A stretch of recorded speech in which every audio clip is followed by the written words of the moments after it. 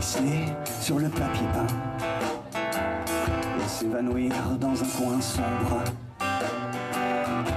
Je connais bien ce fantôme-là, il m'est devenu familier. Dans ma tête, il parle tout bas, des confidences sur l'oreiller.